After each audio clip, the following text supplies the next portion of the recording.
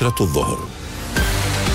وفي عناوينها تلقيح أكثر من 61600 كلب وقط في إطار الحملة الوطنية لمقاومة داء الكلب وتونس تسجل 277 بؤرة خلال العام الجاري. تحرك وطني للمعلمين والأساتذة للمطالبة بتفعيل الاتفاقيات المبرمة والقطع مع التشغيل الهش. وفي النشرة قراءة في أبرز أهداف وملامح مشروع قانون المالية وميزانية الدولة للسنة القادمة. في العالم عشرون شهيدا في القصف الصهيوني على غزة وسلطات الاحتلال تعلن مقتل وإصابة جنود وإصابة عفوا جنود إسرائيليين.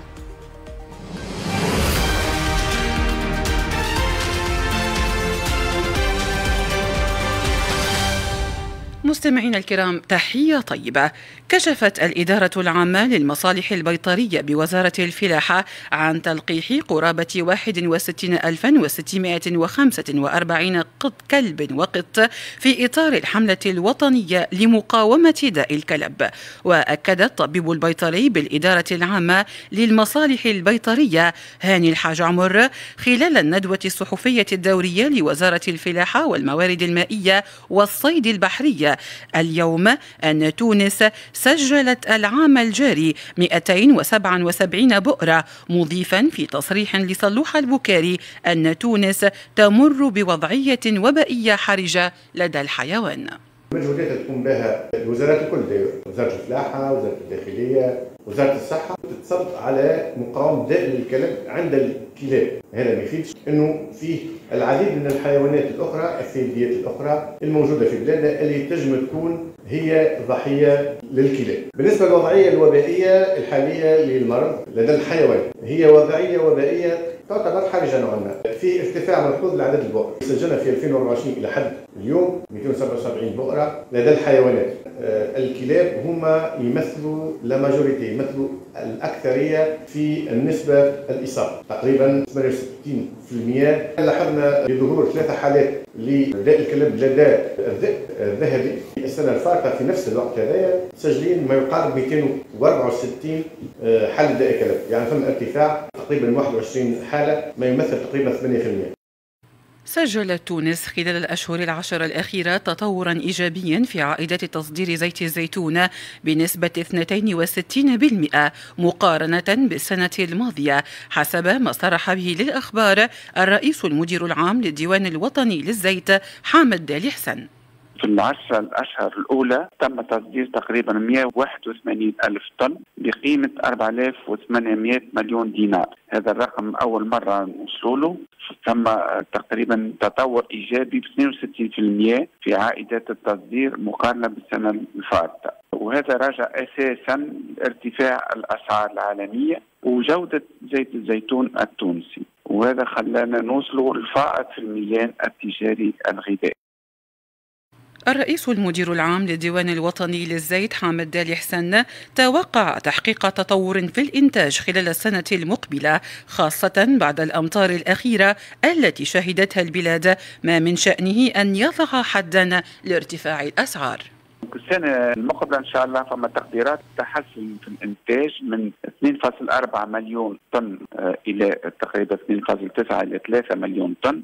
وصلنا لتحسن إيجابي في الإنتاج وهذا يراجع الأمطار الأخيرة اللي صارت في إسبانيا وحتى في تونس. تونس عندنا نفس الشيء باش يكون زاد تحسن ملحوظ في الإنتاج. وهذا باش يضع حد لارتفاع الأسعار اللي شاهدناها في السنة هذه. donc السنة الجاية إن شاء الله فما تحسن في الإنتاج. donc القاعدة نتاع العرض والطلب بتخلي إنه ما يكونش فما ارتفاع في الأسعار. وبالعكس يا إما الأسعار باش يكونوا في نفس المستوى ولا باش ينقصوا. باش ينقصوا مش بحدة كبيرة ولكن باش يكون فما نقص ملحوظ في الأسعار.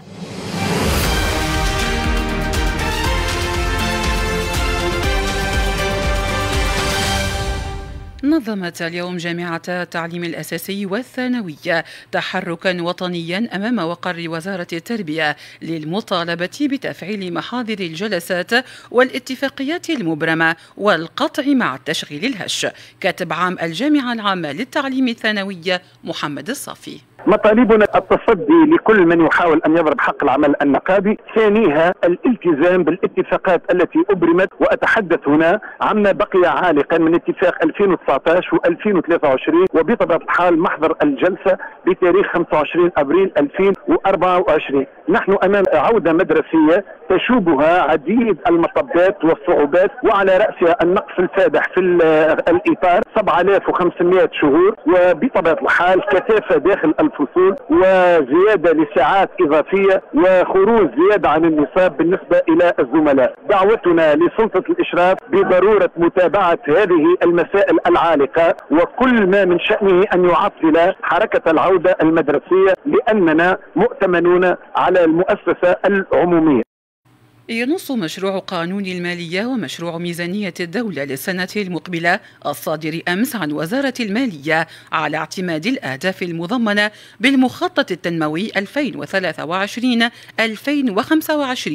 والاستراتيجيات الوطنية وتوزيعها حسب البرامج مع إعطاء الأولوية للقرارات الرئاسية والإجراءات الحكومية المعلن عنها خاصة فيما يتعلق بالبعد الاجتماعي للدولة ودفع دفع الاستثمار ودعم الانتقال الطاقي ومجابهة الشح المائي. أبرز ملامح مشروع هذا القانون في التقرير التالي لأحلام القاسمي استدامة المالية العمومية والتصدي للتهرب الضريبي وضمان العدالة الجبائية وتعزيز دور الدولة الاجتماعي أبرز ملامح مشروع قانون المالية ومشروع ميزانية الدولة للسنة المقبلة وفق ما يوضحه أستاذ الاقتصاد معز السوسي. أولا مواصلة التحكم في كتلة الأجور لأنه كتلة الأجور تعتبر 30 أو 31% ميزانية تقع مواصلة على مستوى تجميد الانتداب في الوظيفة العمومية وعدم إدراج حوافز استثنائية. الغذائيه ترشيد نفقات التسيير إنه ما يفوتش 4% هناك تعزيز الدور الاجتماعي للدولة خاصة على مستوى الترفيع في عدد العائلات المنتفعة بالتحويلات المالية كذلك الترفيع في المنحة الشهرية القار رابعا مواصلة في التحكم على مستوى ترشيد نفقات الدعم. في هذا الإطار سوف لن تقع مراجعة أسعار الطاقة ولن يقع مراجعة المواد الأساسية. خامسا تدعيم نفقات الاستثمار على مستوى المشاريع المعطلة وكذلك المشاريع المشاريع الطاقية نعرف كلنا عندنا مشاكل كبيرة على مستوى الانتقال الطاقي وكذلك المنشآت المائية. سادسا مواصلة الإصلاح الجبائي. هناك مشكلة العدالة الجبائية. نتمنى أنه الجهد على مستوى الاستثمار العمومي يتحسن وهذا يخلي بلادنا ترجع إلى تحقيق نسق نمو محترم قد يفوق 2 أو 2.5% سنة 2025 ومع كل قانون مالية جديد يتطلع عموم المواطنين إلى مراعاة قدرتهم الشرائية وتحسين ظروف عيش عيشهم خاصة على مستوى منظومة الدعم وتحقيق الأمن الغذائي والمائي والطاقي. تنطلق بداية من منتصف هذه الليلة فترة الحملة الانتخابية الرئاسية في الخارج لتتواصل إلى غاية الثاني من أكتوبر القادم على أن يجرى الاقتراع بالخارج أيام الرابع والخامس والسادس من أكتوبر المقبل. وفي تصريح للأخبار قالت عضو هيئة الانتخابات نجلة عبروقي إن عدد المسجلين بالخارج يفوق 620 ألف موزعين على عشر هيئات فرعية.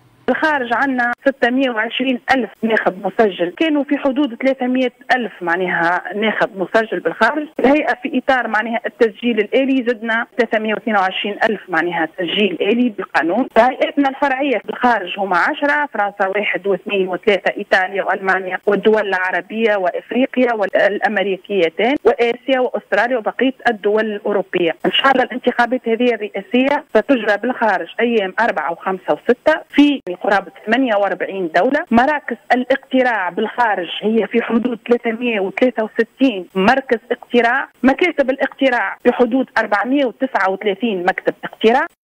وأضافت العبروقي أن هيئة الانتخابات أتاحت للناخبين بالخارج إمكانية الاقتراع في الانتخابات الرئاسية في أي مركز يختاره الناخب في البلد الذي يقيم به ضمن آلية التصويت الحر.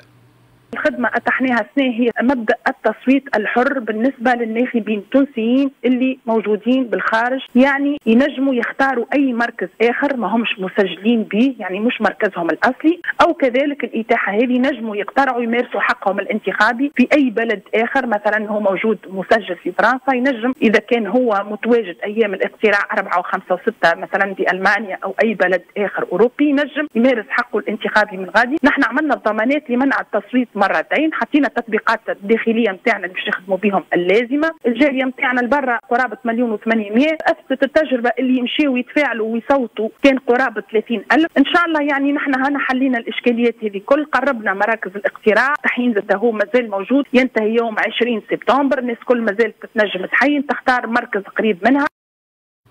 أكد وزير شؤون الخارجية والهجرة والتونسيين بالخارج محمد علي النفطي في كلمة ألقاها أمس في القاهرة لدى مشاركته في أشغال الدورة الثانية والستين بعد المئة لمجلس جامعة الدول العربية على المستوى الوزاري.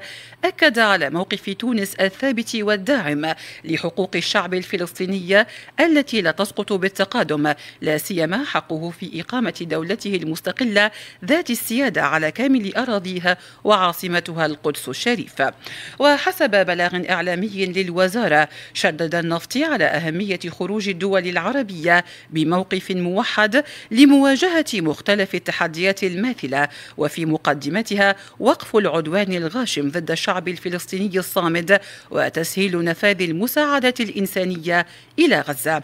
واتفق الوزراء العرب خلال اجتماعهم التشاوري الذي سبق الدورة على الاقتصار على أهم القرارات وخاصة منها المتعلقة بالقضية الفلسطينية على أن يتم ترحيل البنود الأخرى إلى الدورة القادمة. وعلى هامش مشاركته في أشغال هذه الدورة التقى وزير الشؤون الخارجية مع نظرائه في سوريا وتركيا ومصر وشكلت اللقاءات مناسبة لاستعراض سبل تعزيز التعاون المشترك. نشرة الأخبار متواصلة على موجات الإذاعة الوطنية التونسية. وعلى موقعها راديو ناسيونال بوانتين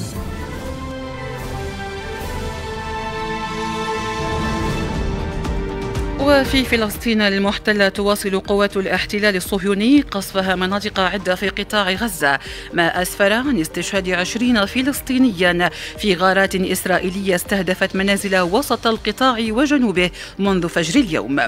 وأقر جيش الاحتلال الصهيوني اليوم بمقتل جنديين وإصابة سبعة آخرين في تحطم مروحية عسكرية بمدينة رفح جنوب القطاع خلال إجلاء عسكري مصاب الليلة الماضية. وفي الضفة الغربية المحتلة جددت قوات الاحتلال اقتحامها لطول كرم وأغلقت جميع مداخل مدينة توباس كما واصلت حصار مستشفى توباس التركي الحكومية وإعاقة عمل طواقم الهلال الأحمر. على صعيد آخر أعلنت وسائل أعلام عبرية مقتل جندي إسرائيلي في عملية دهس على حاجز بيت إيل قرب رام الله. عملية اعتبرتها حركة المقاومة قاوم حماس ردا طبيعيا على إجرام الاحتلال في غزة والضفة. دبلوماسيا أعلنت جنوب إفريقيا عزمها تقديم مذكرة إلى محكمة العدل الدولية. الشهر المقبل تضم أدلة تثبت ارتكاب إسرائيل جريمة إبادة في فلسطين. ومن جهة أخرى شن الجيش الإسرائيلي فجر اليوم سلسلة غارات عنيفة. استهدفت مناطق عدة جنوب لبنان بينما أعلن حزب الله مقتل أحد عناصره في مواجهات مع الاحتلال. ختام النشرة وهذا تذكير بالعناوين. تلقيح أكثر من 61600 كلب وقط في إطار الحملة الوطنية لمقاومة داء الكلب. وتونس تسجل 277 بؤرة خلال العام الجاري. تحرك وطني للمعلمين والأساتذة للمطالبة بتفعيل الاتفاقيات المبرمة والقطع مع التشغيل الهش. وفي النشرة قدمنا قراءة في أبرز أهداف وملامح مشروع قانون المالية وميزانية الدولة للسنة القادمة. وعشرون شهيدا في القصف الصهيوني على غزة وسلطات الاحتلال تعلن مقتل وإصابة جنود إسرائيليين. مع تحيات نعيمة سولي نجاحي في أمان الله.